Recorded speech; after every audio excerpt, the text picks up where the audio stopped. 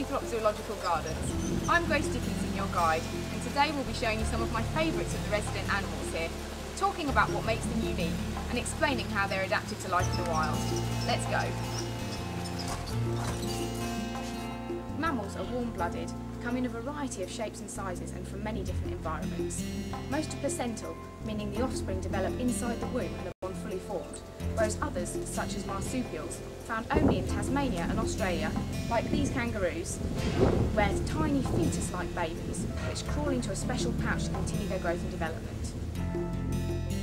All mammalian babies need to drink milk from their mothers in order to survive, grow and develop into strong, healthy adults. However, sometimes parents reject their offspring, and when this happens in captivity, it's up to us humans to care for the young instead, especially in the absence of a suitable surrogate mother. Like with these two addax calves, a beautiful and rare antelope species from southwest Africa, born here at Heathrock about four and a half months ago.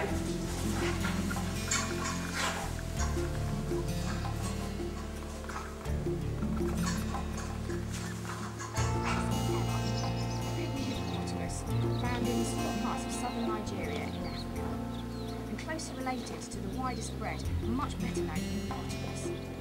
Unlike larger hippos, lemurs prefer to live alone or in pairs, rather than in large family groups. Hippopotamus means river because they are excellent swimmers and like to live in water.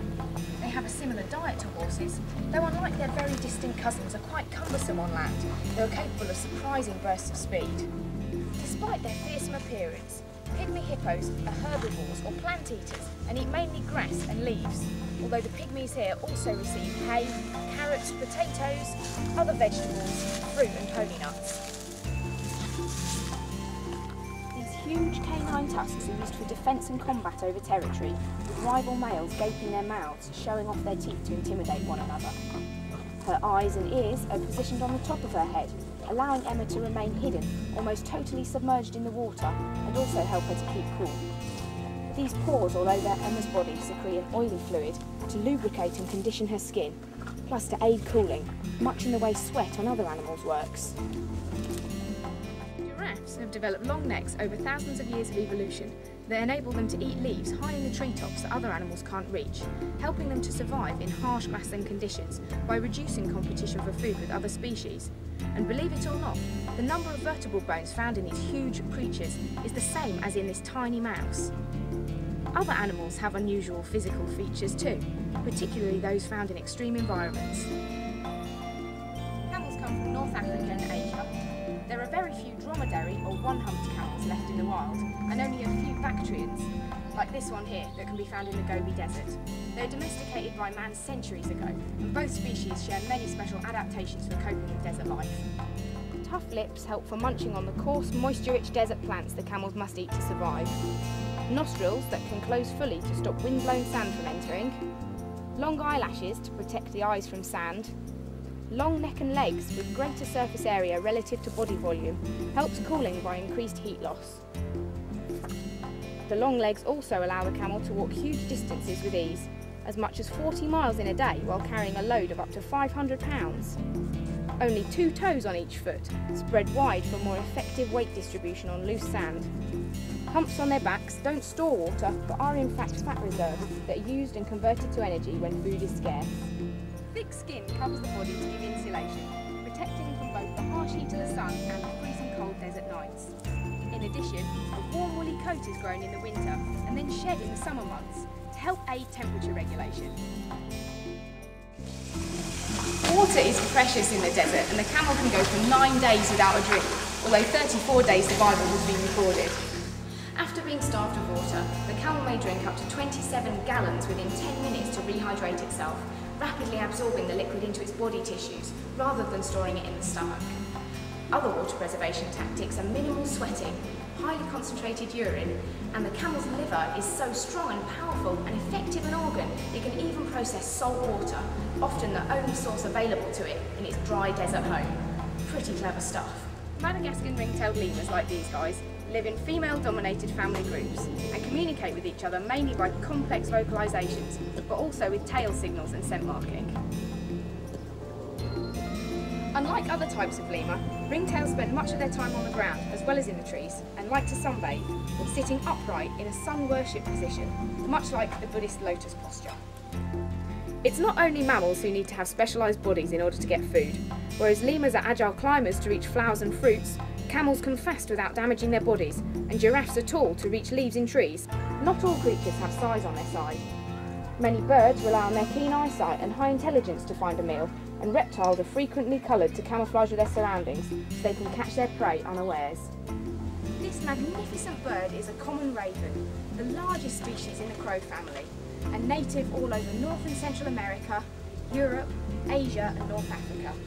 Ravens are highly intelligent scavenging birds, able to survive on a variety of foodstuffs and are excellent problem solvers when it comes to obtaining a meal.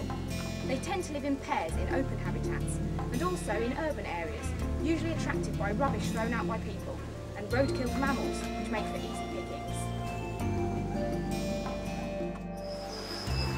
Famous for their ability to change colour, chameleons use unique hormone-triggered pigment cells under the skin to help them blend in with their leafy treetop home, which also is signals to express their moods and between rival males over territory and mates. They are also renowned for their incredibly long tongues, thrown out of their mouth by special skull bones used to capture their insect prey, which they first home in on and target with deadly accuracy using these telescopic eyes, which move independently of one another to give fantastic surround vision. Unfortunately, my time here is up, but there you have it. Just a short glimpse into the weird and wonderful animal world reveals broad variability, clever adaptability, and strange and bizarre body forms and behaviour, all geared towards survival, even in some of the world's most inhospitable environments. So for now, goodbye.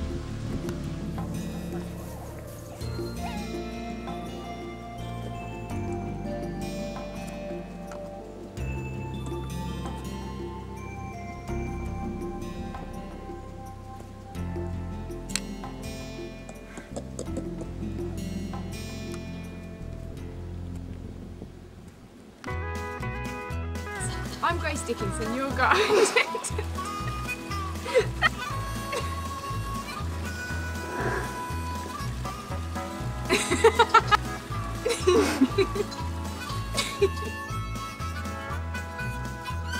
Can you zoom in on the giraffes?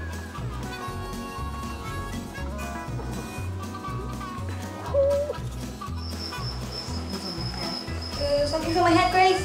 Something's on my head. Can you get on my head? Because it's not my way. Because I Grace, there's something on my head. Can you see? Ah, get it off, Grace. Just get it off. What is it?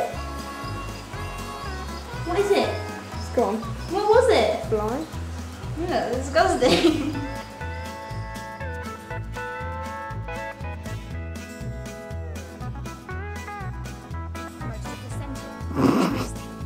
disgusting. Sorry, it farted.